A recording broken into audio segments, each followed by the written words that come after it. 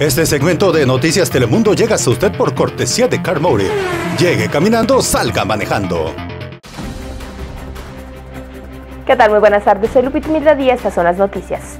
El jefe de policía Todd compareció la tarde de ayer ante el Consejo de la Ciudad de St. Paul y comparó la escala de violencia que se vive en la capital con una epidemia indica que la cantidad de armas decomisadas es alarmante y comentó que buscará que muchos de estos delitos se traten en el fuero federal ya que tiene penas más severas y con esto retiraría de las calles la amenaza. Mona Lisa Pérez, la joven que disparó con un arma calibre 50 a su novio buscando fama en YouTube, salió ayer de la prisión de Kronstadt tras fijarle el juez una fianza de 7 mil dólares y obligarle a llevar un brazalete localizador, además de prohibirle el acceso a armas de fuego mientras dure este proceso judicial. Diamond Reynolds, la novia de Finlando Castell, afirma que está por iniciar una gira por Europa para develar una serie de monumentos en el homenaje al finado. Sin embargo, deberá estar de regreso para el 29 de agosto, ya que tiene que enfrentar un juicio por asalto agravada con un martillo del que se le acusa.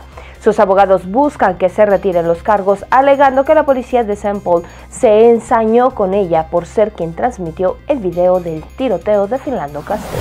Un estudio señala que Eden Pride es la tercer mejor comunidad con playa para vivir en el país. En este estudio aparece muy encima de las ciudades como Miami o Santa Mónica.